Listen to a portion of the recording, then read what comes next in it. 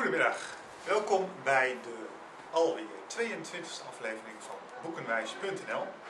Voor de verandering is niet in de vrije natuur, maar uh, op mijn balkon.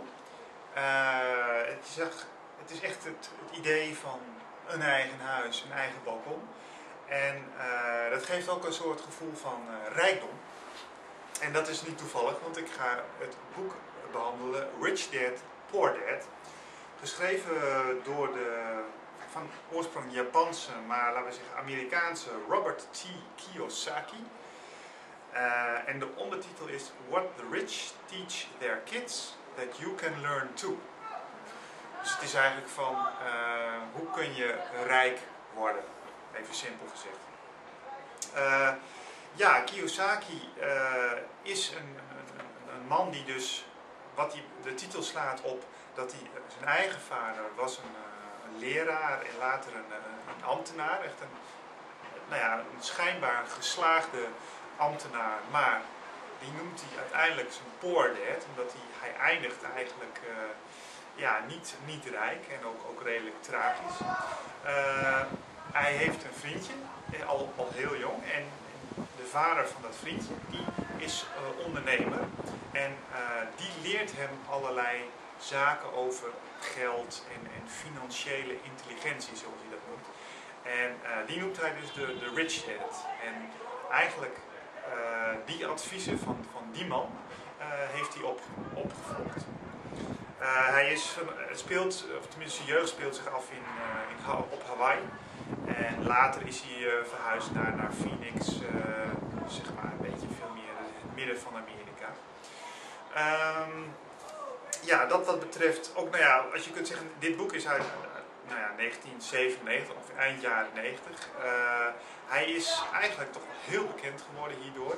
Hij is ook een zeer gevraagd spreker op uh, ja, seminars waar mensen naartoe gaan die ja, de droom hebben om, om, miljonair te worden. En, en nou ja, hij heeft zeer veel volgelingen zou je kunnen zeggen. Dus dat waren wat feiten over, over dit boek. Goed, dan de blauwe hoed van het denken. Ja, hij, hij is in feite in de denkschool van uh, onder andere Napoleon Hill. Napoleon Hill heeft in die eind jaren 30 het boek geschreven Think and Grow Rich.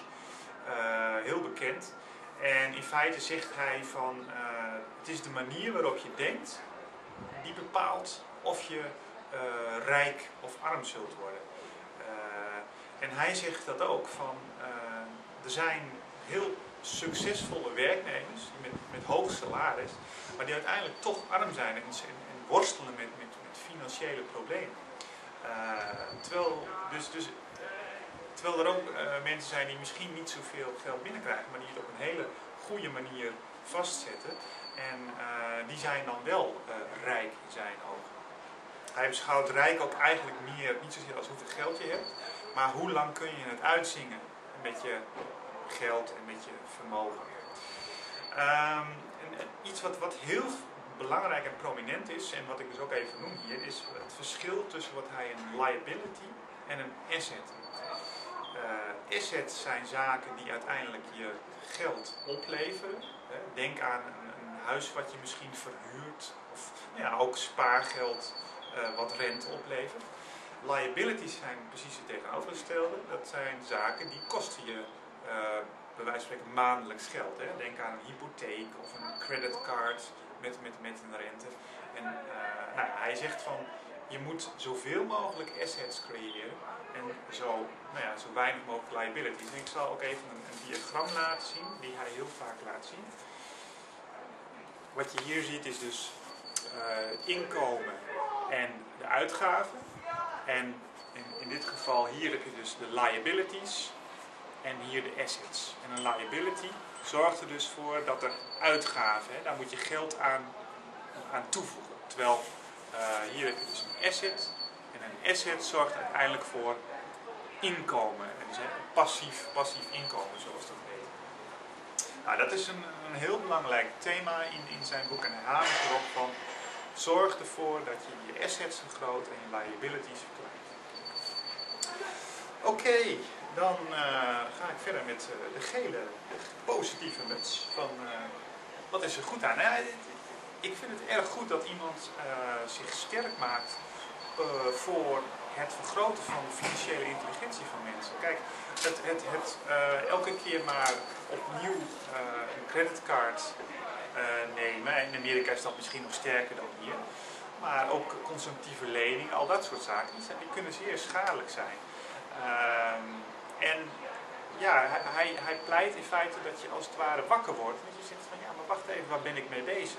En dat je daar heel structureel uh, aan gaat werken om ervoor te zorgen dat je juist assets creëert. Gaat investeren.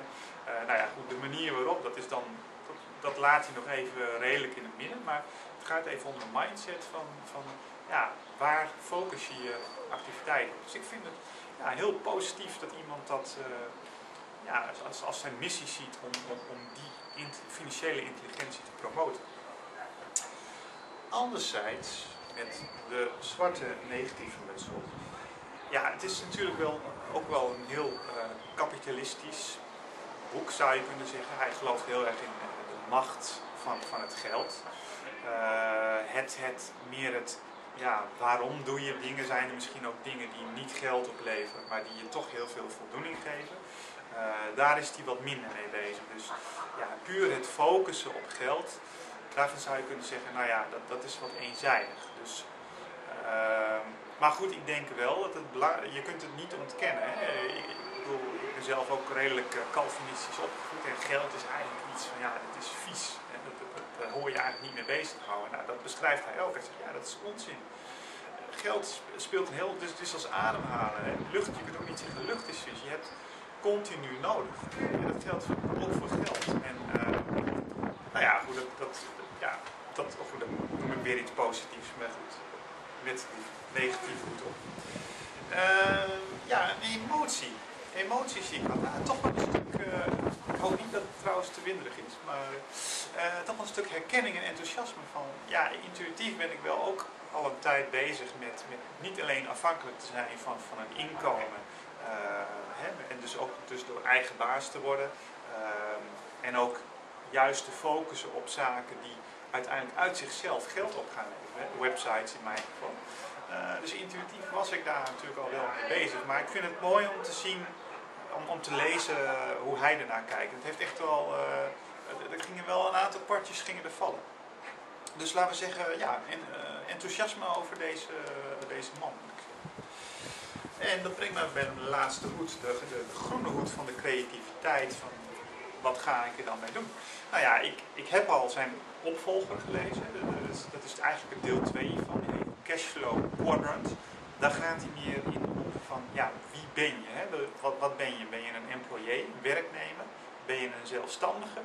Is meer dus een eenpitter, een zelfstandige zonder personeel. Ben je een bedrijfseigenaar? Dan begint hij meer aan nou, dan zit je al in de richting. Of ben je een investeerder? En nou ja, dat is zijn opvolger, dus dat is ook zeer interessant. Uh, nou ja, goed, en het is goed om, in, kaart te brengen van wat zijn de liabilities, wat zijn de assets. Dat je daar een beeld van, van hebt. En dat je dan ook echt structureel gaat werken aan het verkleinen van je liabilities, wegwerken van schulden en het vergroten van je assets. Dus, dus investeren in, in, zaken die uiteindelijk uh, ja, geld in het laadje brengen. Goed, dus uh, ja, concluderend. Rich Dad, Poor Dad van uh, Robert T. Kiyosaki.